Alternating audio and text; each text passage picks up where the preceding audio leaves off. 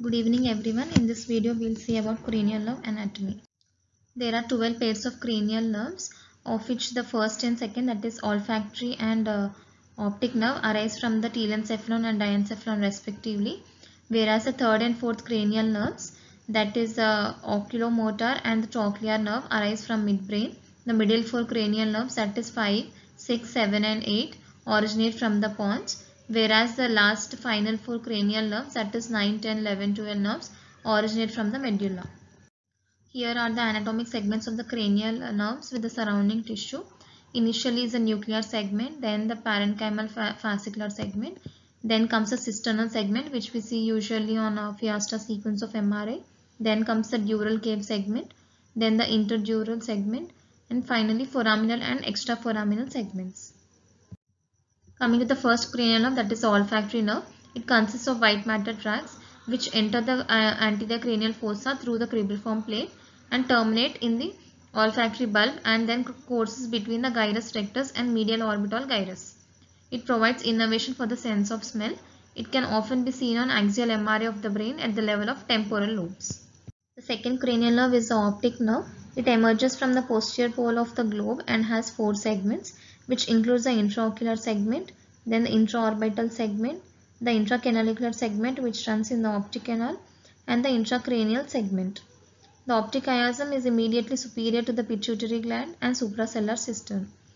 So from the optic chiasma the optic tract courses posteriorly.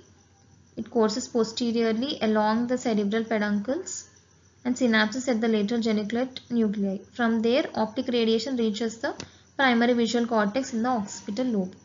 Here is a fiesta image showing the segments of the optic nerve and the optic chiasm. The third cranial nerve is the oculomotor nerve.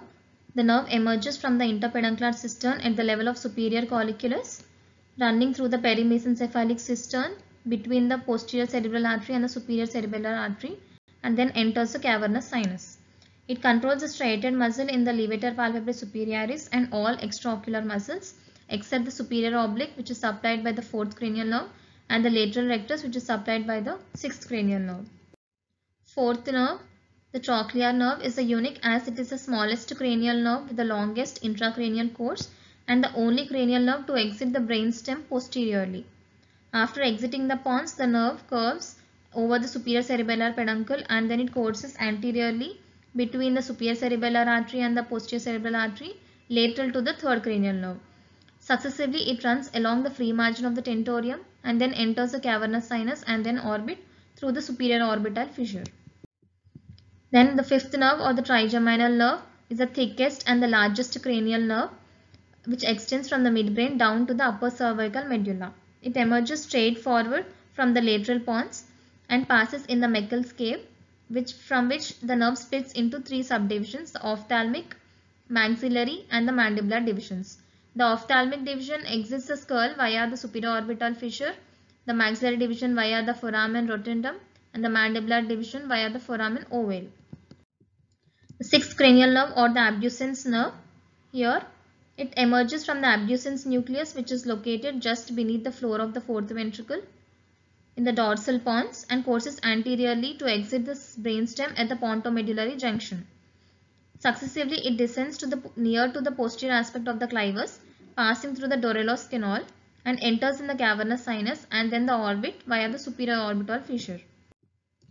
So here is an image showing the cavernous sinus which is located on either side of the pituitary fossa and the body of the sphenoid.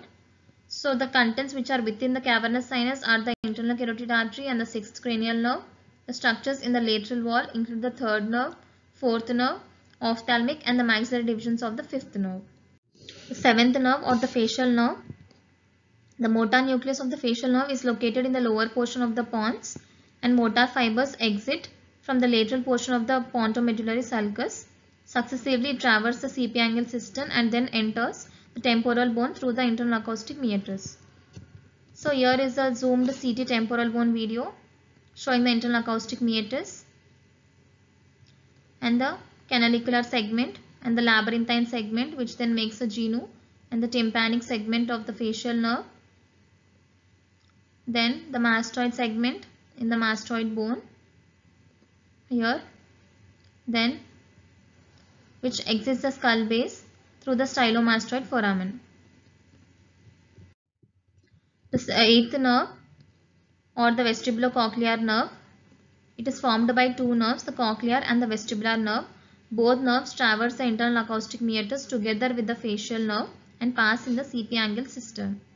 In the internal acoustic meatus, the nerves are so placed such that the facial nerve is anterosuperior, the cochlear nerve is anteroinferior, superior vestibular nerve is posterior superior and the inferior vestibular nerve is posterior inferior. So here is an easy way to remember the 7 up which means the 7th cranial nerve is upwards. The coke down which means the cochlear nerve is inferior. These are the 9th and 10th nerves, the glossopharyngeal and vagus nerves, both of which emerge from the lateral medulla into the lateral cerebellomedullary cistern and exits the skull through the jugular foramen.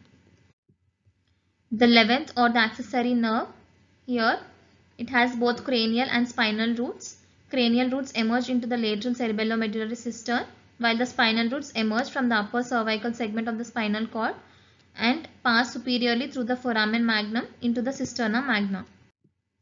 The last or the 12th hypoglossal nerve here, it emerges from the lateral medulla as a series of rootlets extending from the ventrolateral surface of the medulla into the lateral cerebellomedullary cistern.